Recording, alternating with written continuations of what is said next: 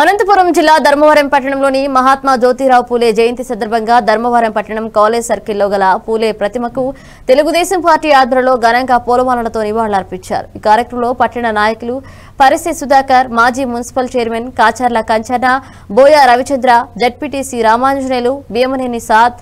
రుద్రారవి తోటవాసు బొట్టు సీను తదితరులు పాల్గొన్నారు